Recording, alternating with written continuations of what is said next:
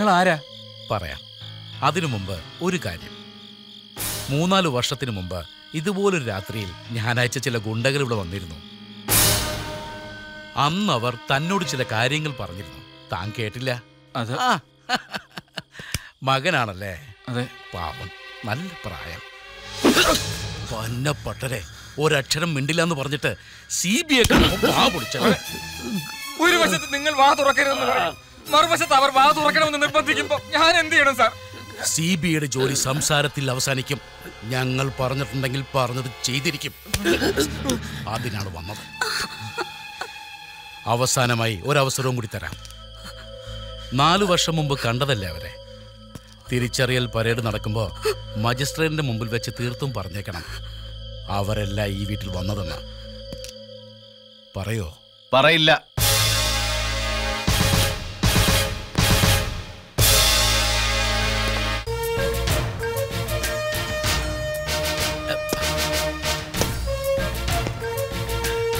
കണ്ടിട്ട് ഞെട്ടലൊന്നും വേണ്ട. ഇത് ഞങ്ങളൊരു ടെക്നിക്കാണ് സംശയം തോന്നുന്നവരോട് ചില ചോദ്യങ്ങൾ ചോദിച്ചിട്ട് പോരും. കേട്ടയാളുടെ മനസ്സിൽ എന്തെങ്കിലും കള്ളമുണ്ടെങ്കിൽ തീർച്ചയായിട്ടും റിയാക്ട് ചെയ്തിരിക്കും. അതുകൊണ്ടാണ് ഞങ്ങളിവിടെ വെയിറ്റ് ചെയ്തത്. ഇനി അതൊന്നുമല്ല ഇമ്പോർട്ടന്റ് ഡോക്ടർ നേരത്തെ പറഞ്ഞല്ലോ ഗുണ്ടകളയച്ചോ നിങ്ങളാണെന്ന്. എന്തിനായിരുന്നു അത്? ആ ചോദ്യത്തിന് ഉത്തരം ഞാൻ പറയാം. ഹരിഹരനെ വിരട്ടാൻ വാസുവിനെ ഏർപ്പാടാക്കിയത് ഞാനാണ്. വാസുവിനെ നേരിട്ട് പരിചയമില്ലാത്തത് കൊണ്ട് ബാബുവിന്റെ സഹായം തേടി അത്രേ ഉള്ളൂ. എന്തിനാ അയാളെ ഭീഷണിപ്പെടുത്തിയത്? നിങ്ങൾ സി ബി ഐ തന്നെയാണ് അതിന് കാരണം. ആ വീടും പറമ്പും ഒക്കെ വിറ്റൊന്ന് സ്വസ്ഥമാകണം.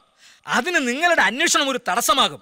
അതുകൊണ്ട് ഗുണ്ടകളെ വിട്ടൊന്ന് വിരട്ടി. അത്ര തന്നെ. സി ബി ഐക്ക് ബ്രോക്കർ പണിയൊന്നുമില്ല. കച്ചവടം മുടക്കാനും നടത്താനും. ഹും, അതിലും കഷ്ടമാണ് ചില സമയത്ത്. അത്തേ പോലെ കടിച്ചു തൂങ്ങി കിടക്കും. ജന്മത്ത് പിടിവിടുകയില്ല മിസ്റ്റർ കൃഷ്ണൻ നായർ നിങ്ങളിവിടെ നിൽക്കുന്നത് അണിമംഗലത്തെ മാടമ്പിയായിട്ടോ ഡോക്ടറായിട്ടോ അല്ല. യു ആർ എ സസ്പെക്ട് ചോദിച്ചതിന് മാത്രം മറുപടി പറഞ്ഞാൽ മതി.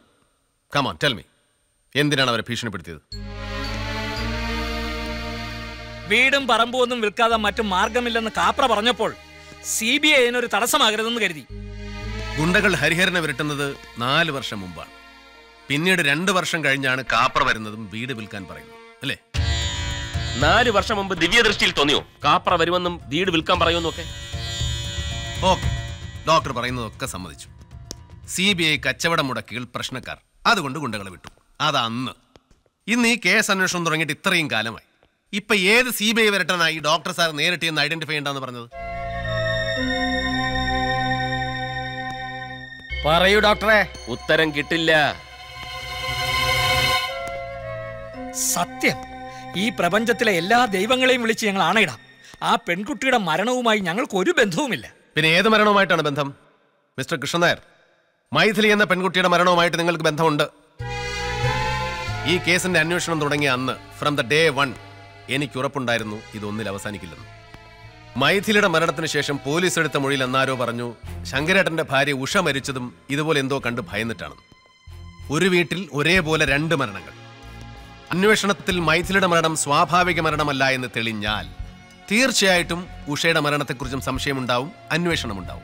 അന്വേഷണമുണ്ടായാൽ അതിന്റെ പിന്നിൽ ആരായിരുന്നുവോ അവർ കുടുങ്ങും. അതുകൊണ്ടാണ് മൈഥിലിയുടെ മരണത്തെക്കുറിച്ചുള്ള അന്വേഷണം തടസ്സപ്പെടുത്താൻ നിങ്ങൾ ശ്രമിച്ചത്. ഇപ്പൊ ബന്ധം മനസ്സിലായോ? ഇനി പറയും. ഉഷ എങ്ങനെയാ മരിച്ചത്? ഹാർട്ട് ഹാർട്ട് അറ്റാക്ക് എന്തോ കണ്ട് ഭയന്ന് വീണ ഉഷയെ ഹോസ്പിറ്റലിൽ എത്തിച്ച പിന്നെ അറ്റാക്ക് ഉണ്ടായത്. മരിച്ച നാഷണൽ ഹോസ്പിറ്റൽ വെച്ചല്ലേ? അതെ. നമ്മളല്ലേ എന്റെ ഓണർ അതെ.